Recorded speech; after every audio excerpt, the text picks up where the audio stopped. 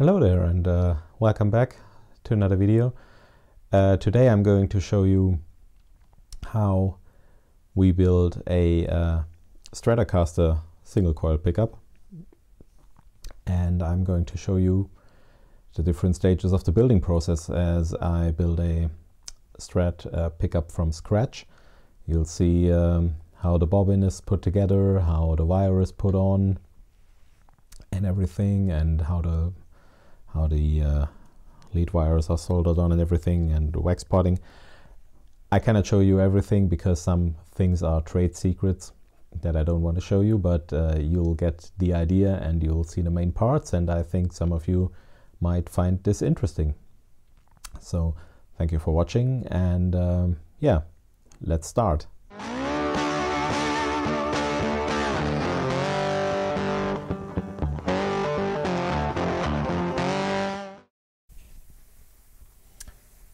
So as you can see here, uh, we've got the different uh, things laid out. What we've got there, we've got, uh, and this is uh, the actual bobbin that we're going to make. And uh, in order to make that, and uh, we have to first fabricate a bobbin, which you can see here. And we've got all the materials laid out there. we've got the flat work. We've got some magnets and the pickup cover of course. And um, what we've also got here you can see uh, there is a little jig to uh, put the magnets in. And um, yeah the next thing to do is um, put the magnets and um, make them put them into the flat work. Alright so now we've got our arbor press set up and it's a real simple thing you just turn it and uh, press in the things. So we now take the flat work. And uh, therefore I use this uh, little jig that you're going to see now. And I take the the magnets. Um, as you can see they have a, a, slight they have a bevel on one side and um, uh, straight on the other side. And you want the uh, the bevel side uh, to be up there so you have no sharp edges when you play. And they stick out above the cover. uh, and so.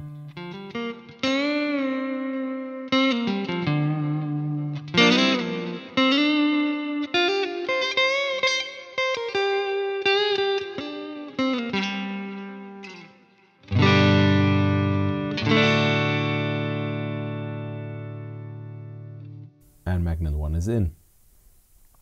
So we've got five more to go and I'm uh, starting with the outer two, putting the second one in. So we have a guide for the other ones and uh, now I'm applying the uh, uh, the jig. So I can easily put in the other four magnets and uh, the jig helps them to get uh, to go into the flat work at a 90 degree angle. So the bobbin is not uh, the bobbin is straight and you can see there also we've got the stagger. Um, for this set we are going uh, we are building a left hand uh, staggered uh, thing uh, pickup. So now I'm putting in the rest of the magnets just apply a gentle pressure. Yeah all the magnets are in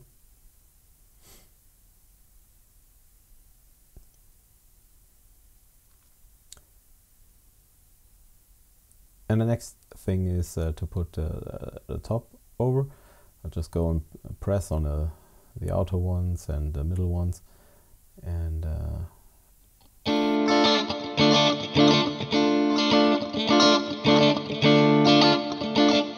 yeah, so now the top is on there and you see it's every, everything is nice and straight so uh, we can remove the jig and um, as you will see, we've made ourselves a, uh, a nice uh, bobbin. So now that we've made uh, all our three bobbins, the next uh, step to do is to dip them in nitrocellulose lacquer. and um, this is um, done so that uh, we uh, fixate the structure and so that the bobbins don't move when we wind them and uh, also to insulate the to insulate the magnets from the uh, copper wire so they uh, don't shorten out. This is uh, the classic way that Fender has done it. I'm also going to uh, wrap around, uh, wrap a little tape around as you will see in the next step. But um, yeah, we also we do this to prevent them from moisture and everything. So the next step is to dip them in nitrocellulose. Uh, this uh, is a thing I don't need to show you because I do this outside uh, because it really has a bad smell to it. Alright, so now the uh, lacquer has set and uh, the next uh, thing what I do when I build them I'll wrap a little bit of tape around the magnets uh, to insulate them from the wire. And therefore I use uh, a Kapton tape which is used uh, in electronics um, because it has a very high melting point and it also non-conductive. And so I uh, use this to put it uh, around the, uh, the magnets. the thing why we insulate uh, the magnets from the wire is so that they don't shorten out when the corrosion sets in and the um, the insulation of the pickup wire is fading away. Uh, this is a, a, common thing with old Fender pickups, so that when they corrode, uh, the uh, insulation of the of the magnet wire dies, and so you get a short, and uh, your pickup is dead. And uh, the only thing that helps is um, to rewind them. I'll do this and I know it's not vintage correct but um, I'll do it uh, to to lengthen the, the, the lifespan of the pickup.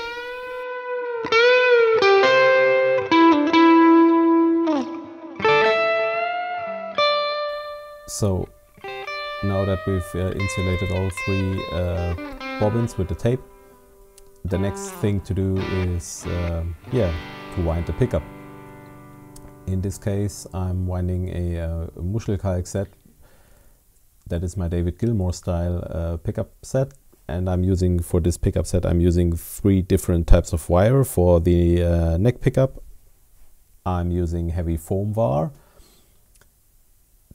This is the a thicker insulation wire and it is mostly used in um, the old uh, Stratocaster pickups uh, from the 50s and um, I'll use this for the neck pickup to get a nice uh, hollow the classic strat tone. For the middle pickup I'm using plain enamel wire like it was used uh, in the CBS uh, uh, period of Fender and for the bridge pickup I'm using uh, poly nylon wire. And in this case I'm using a thinner gauge uh, wire uh, that is usually uh, taken for uh, tele neck pickups.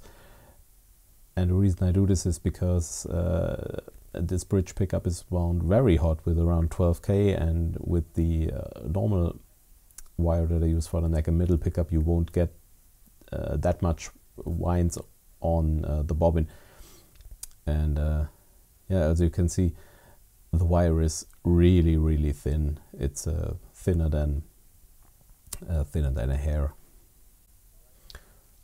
Alright so this is my um, self built uh, pickup winder. It's nothing fancy. It's just a little motor.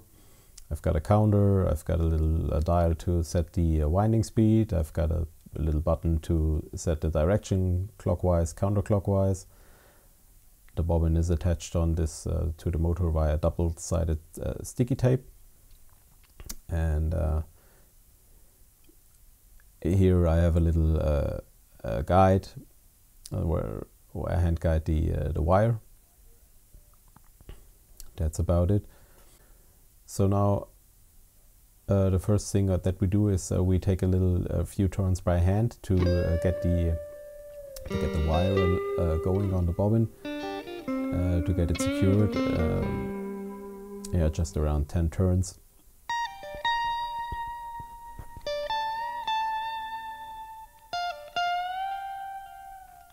Um, now we put a few hundred turns on uh, the bobbin and check if the guides uh, are set properly. And uh, yeah, as you can see, I'm, I'm guiding the wire by hand.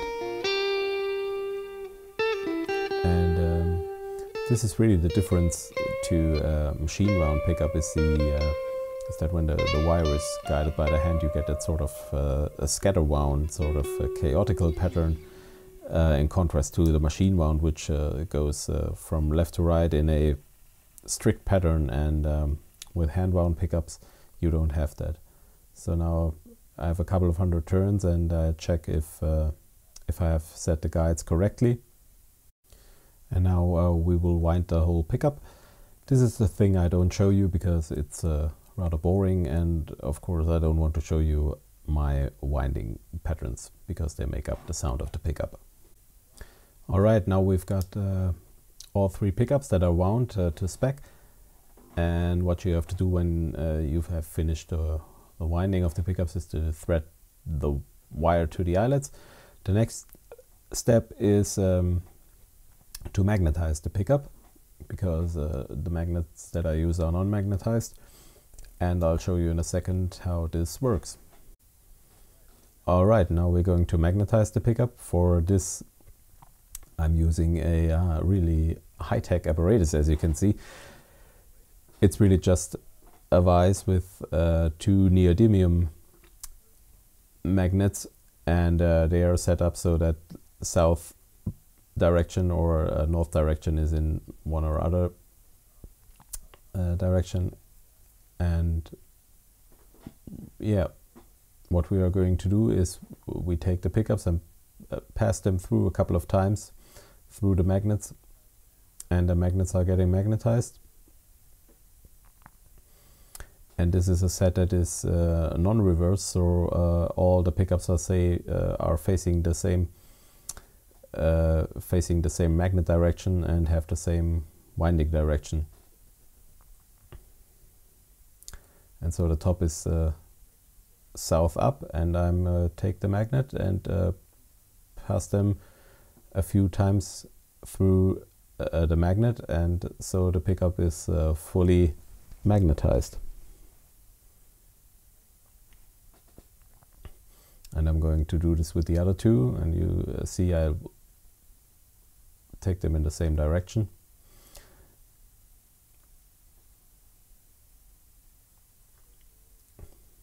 And now you can see they're all uh, magnetized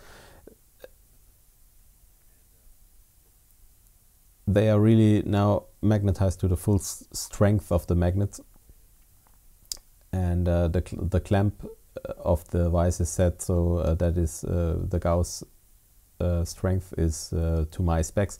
I have a Gauss meter to, to measure it and if I want to demagnetize it I you change the polarity you just put the the blocks of the vise a little bit uh, further away or you uh, then pass the pickup in the other direction. Uh, this is really a thing of trial and error.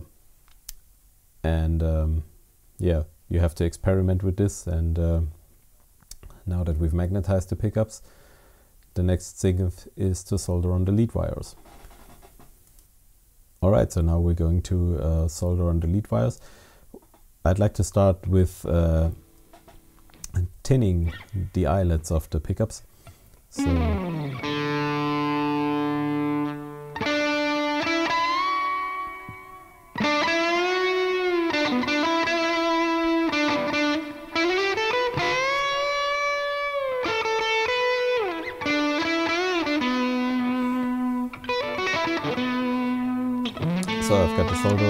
set to 350 degrees Celsius and I'm going, I'm just going there and uh, heat up the, the eyelet and then I'll feed a little bit of solder on there and uh, uh, the solder is melting the uh, insulation of the uh, pickup wire so that you've got a, uh, connection to the to the actual copper wire.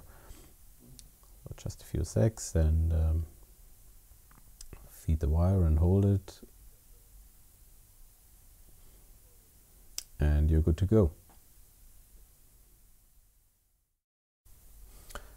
Alright, so the next uh, thing is to uh, solder on the lead wires. And um, I've got here two pieces of uh, pushback vintage cloth pushback pack wire. As you can see uh, you take the uh, the outer cloth and you can just uh, push it a little back and then you have the the bare wire and this is really easy to work with. And um, yeah. Those are pre-tinned, but um,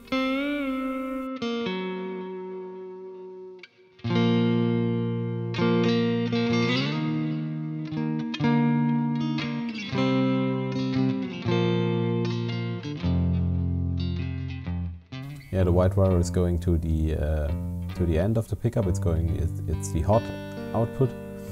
So I'll just uh, reheat my solder uh, joint and and then um,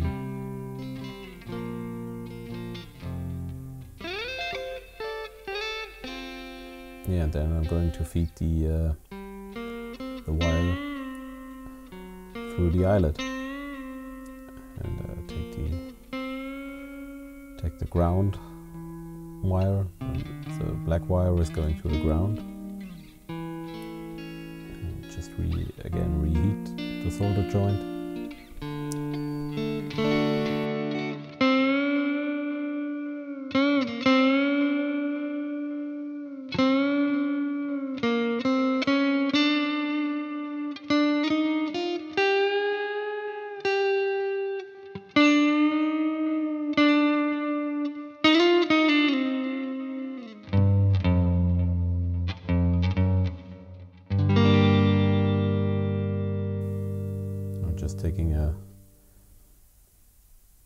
Pair of scissors and uh, just uh, cutting away the excess wire.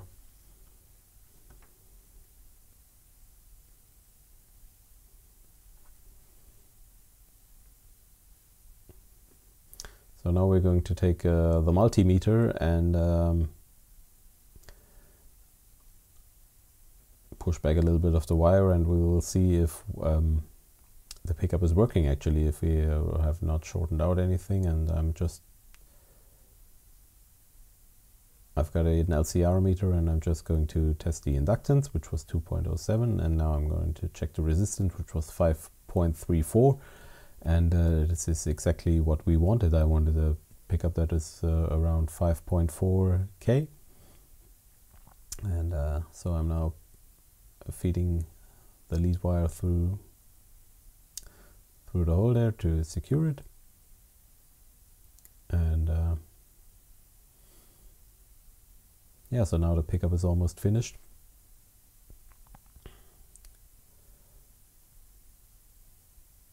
And this is uh, done really to to secure the uh, lead wire from uh, ripping out of the eyelet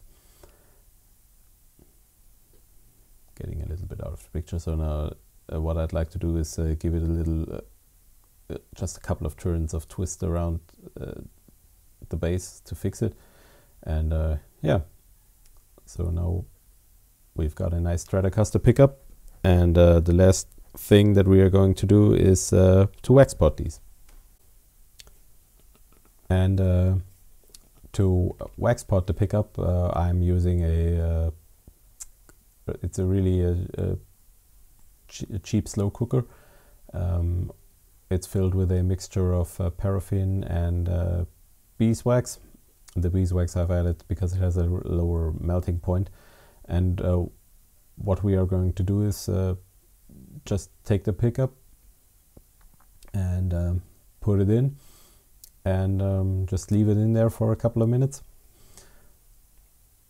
As you can really see, um, it's going in and uh, as as the uh, the wax uh, goes into the pickup, you can see a, couple of air bubbles coming out of the pickup, and that is really the uh, wax going into the structure of the pickup and putting out uh, the air.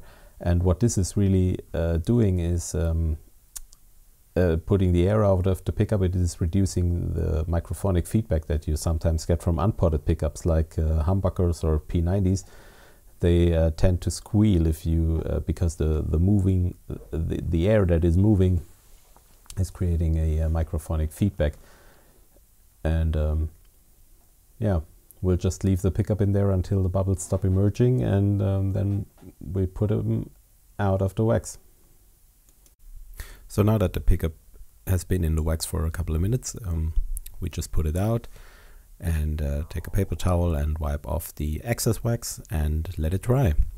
And so we've made ourselves a really nice sounding Stratocaster single coil pickup.